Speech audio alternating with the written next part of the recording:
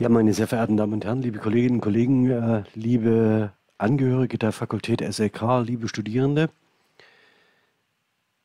Wir sind sicherlich alle gut beraten, wenn wir uns auf die Anforderungen und die Bedarfe im kommenden Wintersemester gut vorbereiten.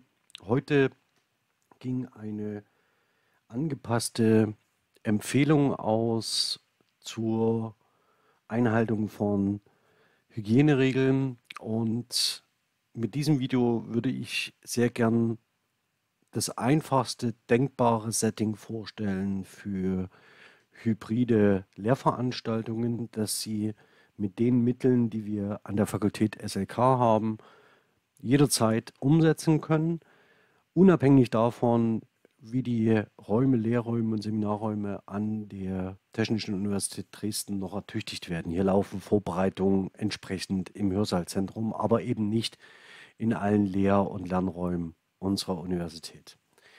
Ich würde ganz gern also über das hybride Wintersemester sprechen oder über das, was man sich gemeinhin darunter vorstellt.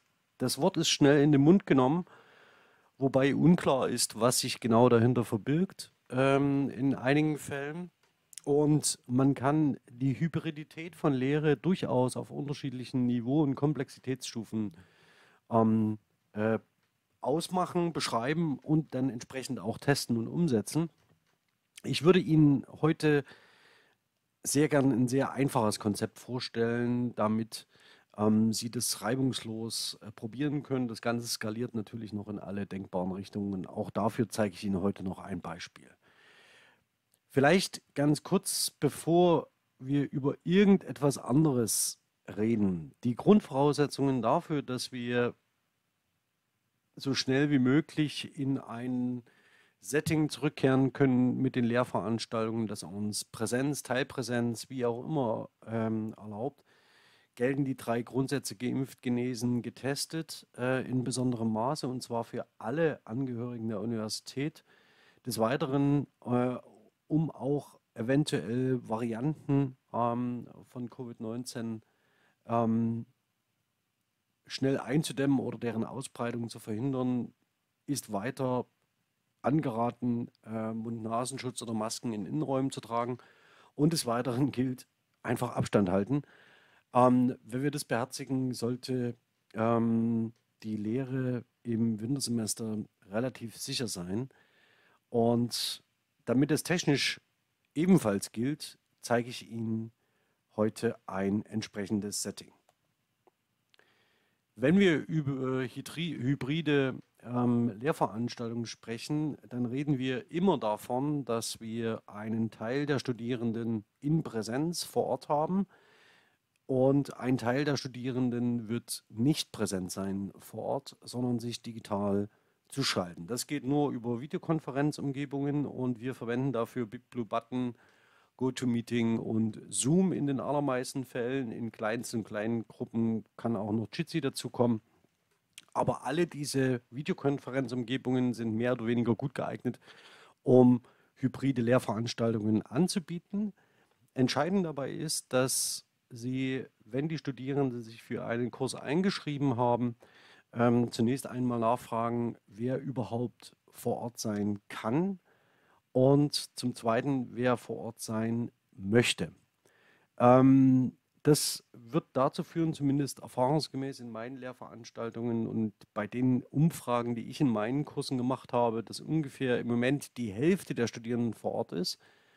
Und von der anderen Hälfte, die nicht in Dresden ist, plant zumindest ein Drittel ungefähr wieder im Wintersemester vor Ort in Dresden zu sein. Das heißt, so oder so werden Lehrveranstaltungsangebote so konzipiert sein müssen, dass sie diejenigen mit einschließen, die nicht vor Ort sind. Das kann durch asynchrone Formate, also Wissens, der Wissensvermittlung geschehen oder eben durch die zur Verfügungstellung einer Videokonferenzumgebung. Und damit das technisch nicht überfordert, haben wir an der Fakultät empfohlen, Logitech Group-Systeme ähm, zu besorgen. Das ist an den einzelnen Struktureinheiten auch erfolgt. Also wir erheben im Moment genau gerade, wie viele dieser Systeme wir an der Fakultät haben.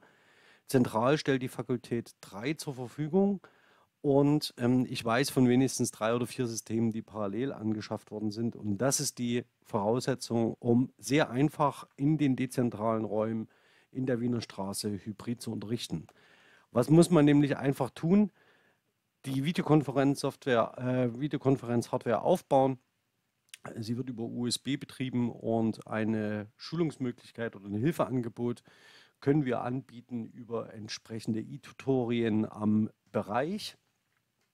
Aber kommen Sie da gern auf Robert Fischer, René Schulze oder mich zu, wenn Sie da Bedarf sehen oder kontaktieren Sie Josephine Klingelbeil, die ähm, die Bedarfe am Bereich GSW koordiniert für die E-Tutorien. Ich zeige Ihnen ganz kurz, was Sie dann tun. Sie müssten einfach, wenn Sie ähm, das Logitech Group System aufgebaut haben, das geht wirklich nach, mit entsprechend Übung relativ schnell, und ähm, Sie können damit im Moment alle Räume in der Wiener Straße problemlos bespielen. Sie sehen, bis zu 16 Personen ist hier in dem System an, sind hier für das System gut geeignet. Wenn die Lehrräume größer werden, das heißt, Sie Vorlesungsräume hätten, kommt es auf einen Test an. Ähm, wie kann, funktioniert das Ganze dann, ähm, nachdem Sie die äh, Hardware aufgebaut haben? Ich habe für Sie hier mal eine Zoom-Konferenz vorbereitet. Ähm, eigentlich ganz einfach. Sie binden das entsprechende Mikrofon äh, und den Lautsprecher ein. Das heißt, das heißt dann tatsächlich Logitech Group System und hier entsprechend ähm, die Kamera und lassen das Ganze lassen das Ganze einfach parallel laufen, sodass ähm, Sie vor Ort eine Videokonferenzlösung haben, mit der Sie alles ähm, gut bespielen können. Ähm, die Kamera selbst hat keine ähm, Präferenzen und wenn Sie dann in der Zoom-Umgebung sind, dann können Sie natürlich problemlos ähm, den Bildschirm teilen und Ihre Präsentation und so weiter anfertigen. Das Ganze ist nicht sehr optimal, aber es funktioniert. Und damit haben wir eine Lösung, die wir Ihnen vor Ort anbieten können. Und ähm, ich würde Ihnen raten, darauf zu setzen. Ich schaue mal ganz kurz auf die Präsentation zurück. Das ist also das System, damit können Sie hybride Lehre im Wintersemester realisieren. Wer soll nun in Präsenz vor Ort sein? Ja, hier ist es äh, sinnvoll darüber nachzudenken, ob man in den Gruppen selbst rotiert, das heißt Arbeits Arbeitsgruppen ähm, einrichtet, die dann wechselnd in Präsenz sein können Unserer Erfahrung nach ist es tatsächlich so, dass die Studierenden nicht die ganze Zeit vor Ort sein wollen, sondern sich, ähm, um den Eindruck von Normalität zu haben, ähm, ab und an im Semester einmal in einem Seminar oder Vorlesungsraum ähm, sein möchten. Und tatsächlich sind ja auch die anderen Lehrveranstaltungen entsprechend zu koordinieren. Das heißt, nichts ist ungenauer und ungewisser und als die äh, Planung von Wegstrecken zwischen einzelnen Lehrveranstaltungen. Und äh, wenn man den aktuellen Diskussionen folgt im Bereich der ähm, digitalen Hochschullehre, dann ist es so, dass je mehr Wahlmöglichkeiten Studierende von vornherein in einem Studiengang haben, umso schwerer wird die Koordination des Ganzen. Das heißt, bieten Sie, wenn es Ihnen irgend möglich ist, hybride Seminare an.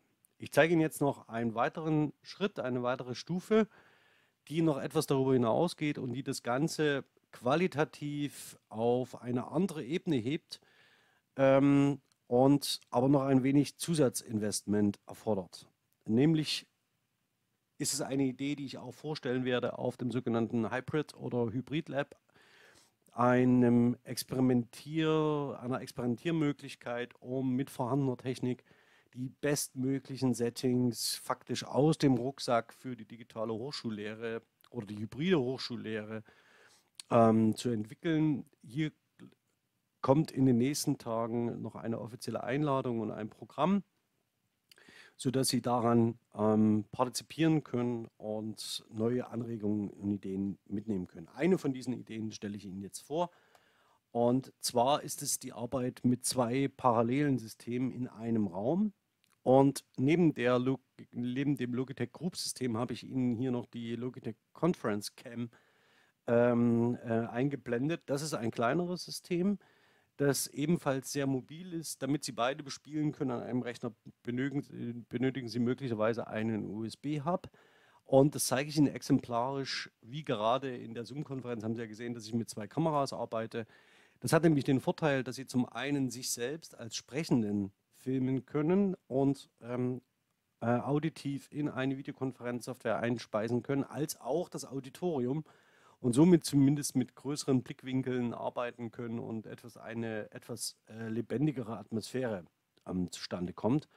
Ähm, wie das Ganze funktioniert, zeige ich Ihnen gleich im Anschluss. Dazu muss ich ganz kurz die Softwareumgebung wechseln, denn Sie brauchen neben der entsprechenden Hardware auch noch Software und zwar zwei ähm, Tools. Das eine benutzen Sie wahrscheinlich schon, das ist ähm, die Open Broadcasting Software OBS. Und das andere ist ähm, das sogenannte Voice Meter. Mit dem Voice Meter stellen Sie, äh, das ist ein virtuelles Mischpult, mit dem Sie zwei Mikrofone einstellen können. Und ähm, mit OBS stellen Sie eine virtuelle Kamera zur Verfügung. Und mit dieser virtuellen Kamera können Sie unterschiedliche Kameraszenen einfangen, die Sie dann selbst wiederum in einer Zoom-Konferenz ähm, zuschalten, sodass dann idealerweise ein etwas lebendigerer Eindruck vom Seminar oder Vorlesungsgeschehen entsteht. Das zeige ich Ihnen aber gleich. Dazu muss ich aber diese Aufnahme hier beenden und die andere anschneiden.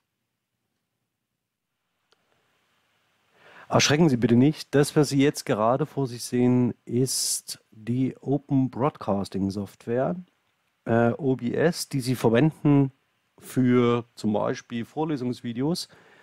Und ganz oben rechts sehen Sie die kleine Zoom-Konferenz, die ich jetzt minimiert habe. Und dafür habe ich die integrierte Kamera aufgeschaltet, während vor mir eine OBS TinyBot steht und rechts von mir die Logitech HD C920, mit der ich vorhin ähm, die Zoom-Konferenz bespielt habe.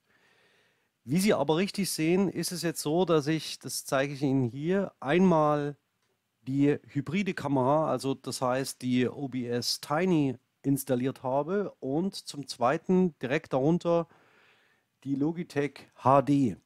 Und wenn Sie sich erinnern, kann jetzt an der einen Stelle, nämlich an dieser, nicht eine OBS TinyBot stehen, wenn Sie keine haben, sondern die Kamera aus dem Logitech Group System, während die zweite wo hier die Logitech HD eingehängt ist, die sogenannte Logitech Conference Cam Connect. Damit haben Sie einen besseren Überblick über die Lehr- und Lernsituation vor Ort. Und das Zweite, was Sie hier tickern sehen, ist ein sogenanntes ähm, Audio Cable, das heißt ein Voice Meter, das ich Ihnen jetzt mal illustriere, indem ich ganz kurz das Voice Meter direkt aufschalte. Jetzt sehen Sie das, was Sie hier in klein gesehen haben, in groß. Und ich illustriere Ihnen das Ganze mit dem Mikrofon, das direkt hier vor mir steht.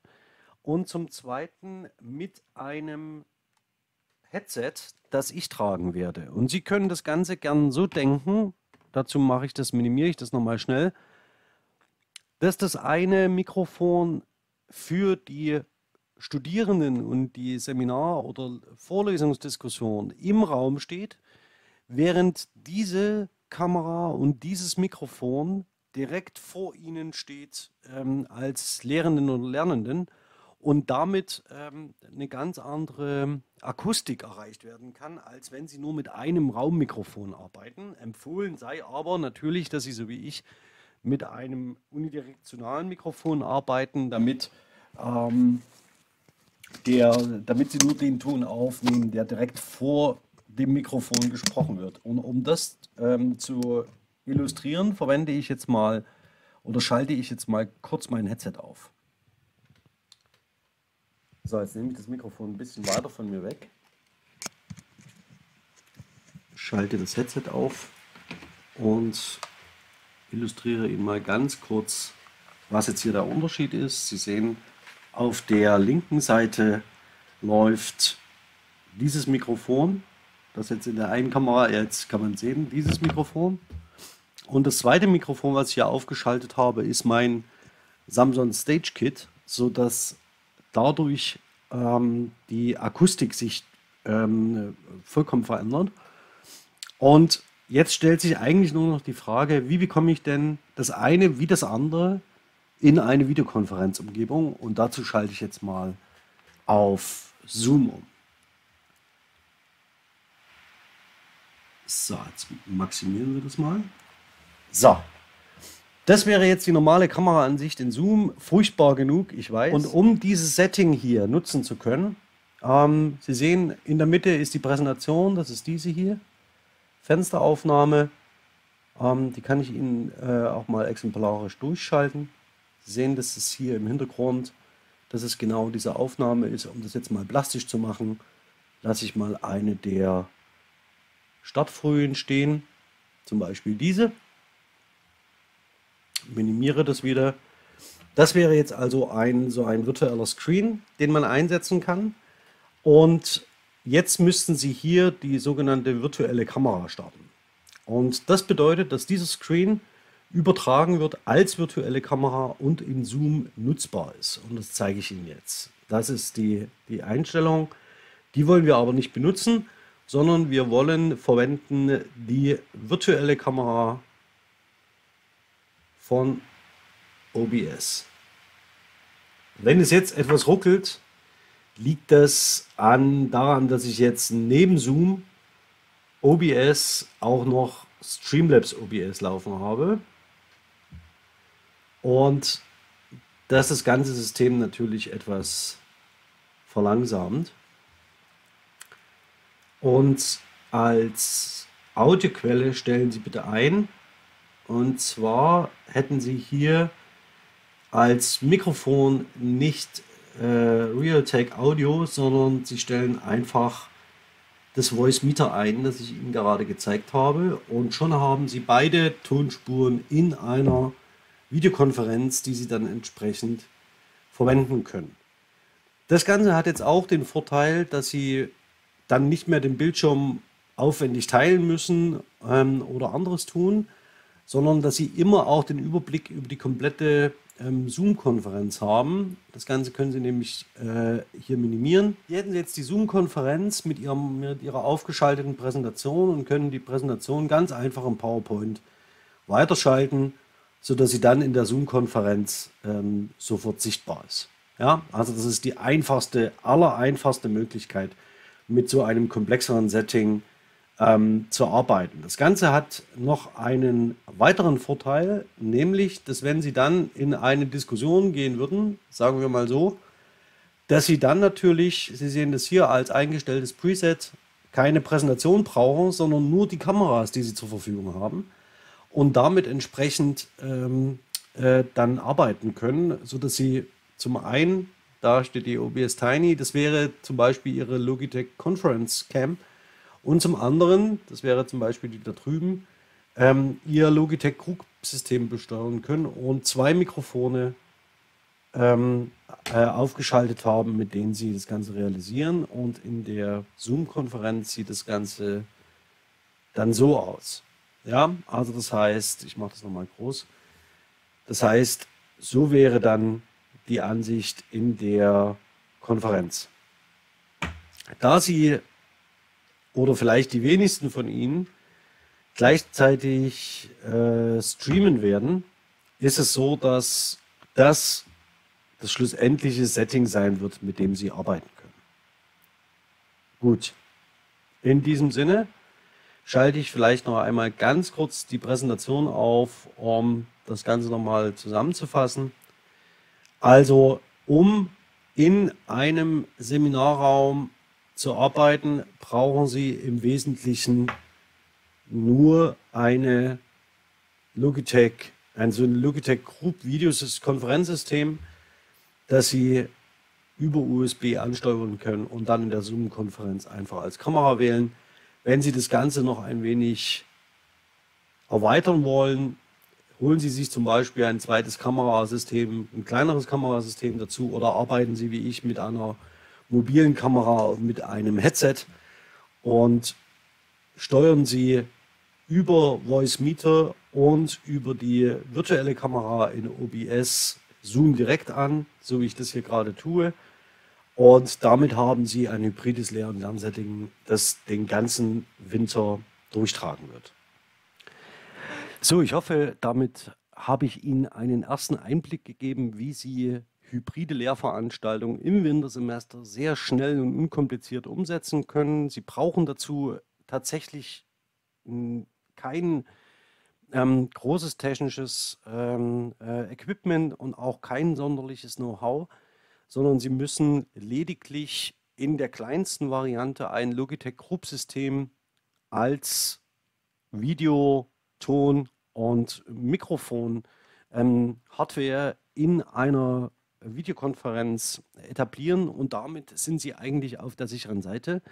Und Geräte dieser Art stellen wir an der Fakultät in ausreichendem Maße für Ihre Lehre zur Verfügung. In diesem Sinne, wenn Sie Fragen haben, kommen Sie gerne jeder auf mich zu, jederzeit auf mich zu. Bin ich ganz herzlich, Ihr Alexander Lasch.